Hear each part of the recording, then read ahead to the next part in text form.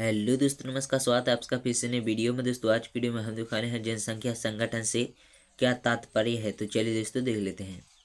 दोस्तों, जनसंख्या संगठन, दोस्तों, जनसंख्या संग मतलब जनसंख्या संगठन, किसी देश की जनसंख्या संरचना है और जनसंख्या संगठन से हमें यह पता चलता है कि हमारी जनसंख्या में कितने पुरुष हैं और कितनी स्त्रियाँ हैं, वे किस आयु वर्ग के हैं, कितने शिक्षित हैं और वे किस प्रकार के व्यवसाय में लगे हैं। उनकी आय का क्या स्तर है और स्वास्थ्य की दशाएँ कैसी हैं। तो दोस्तों, आशा करता हूँ आप लोगों को वीडियो पसंद आएगी। वीडियो पसंद आएगी लाइक में शेयर करें चैनल को सब्सक्राइब